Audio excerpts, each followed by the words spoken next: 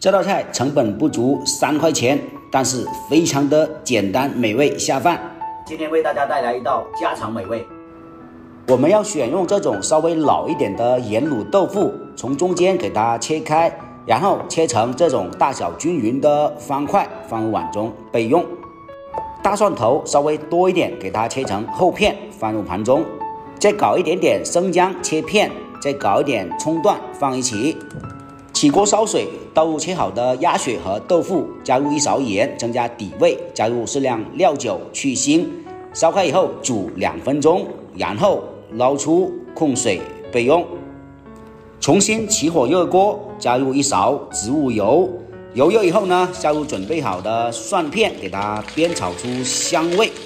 紧接着倒入这个葱和生姜，同样是煸炒出香味。蒜片煸到金黄以后。加入两勺豆瓣酱，炒出红油，炒出香味。加入适量料酒去腥增香。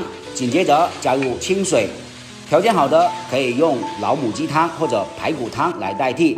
倒入鸭血和豆腐，加入半勺盐，增加底味。再来点五香粉，再来半勺蚝油。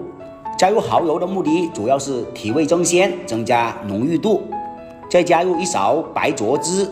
没有白灼汁的，可以用蒸鱼豉油来代替。加盖，用中火给它炖七到八分钟。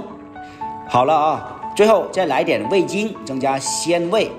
经过七八分钟的炖煮，鸭血豆腐已经完全入味，而且汤汁已经略微浓稠。这个时候就可以出锅，可以放一点香菜，用砂锅来装，起到很好的保温作用，而且能再次唤醒它的香味。一道成本不足三块钱、简单美味下饭的鸭血炖豆腐到这边制作完成，欢迎大家来我的主页学习更多更详细的菜谱教程。